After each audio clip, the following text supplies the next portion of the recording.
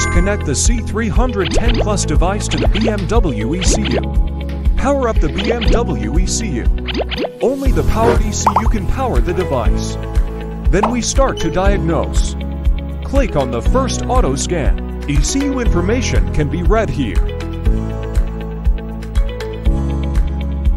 There are four functions in it. The first function is ECU information. You can click to view ECU information. The second function, read trouble code.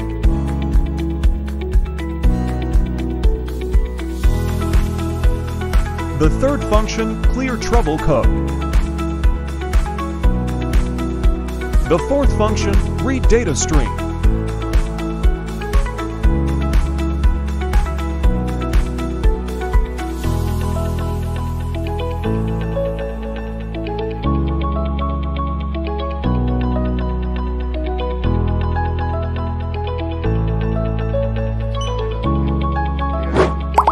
Main.cell.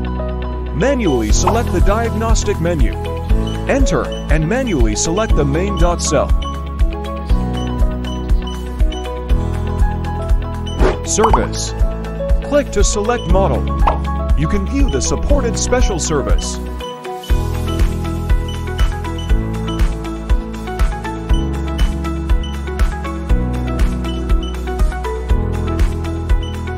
Throttle.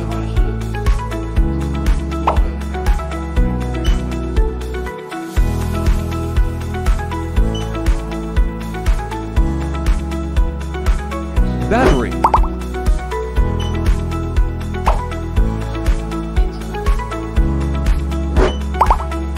Invert. Creator C310 Plus device upgrade.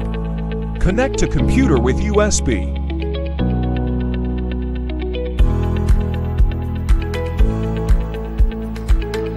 Enter the URL.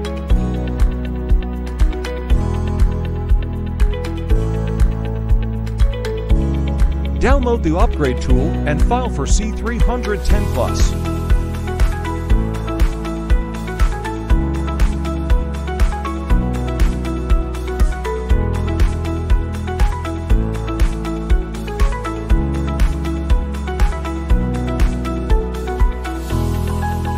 After installing the upgrade tool, load the upgrade file with the upgrade tool.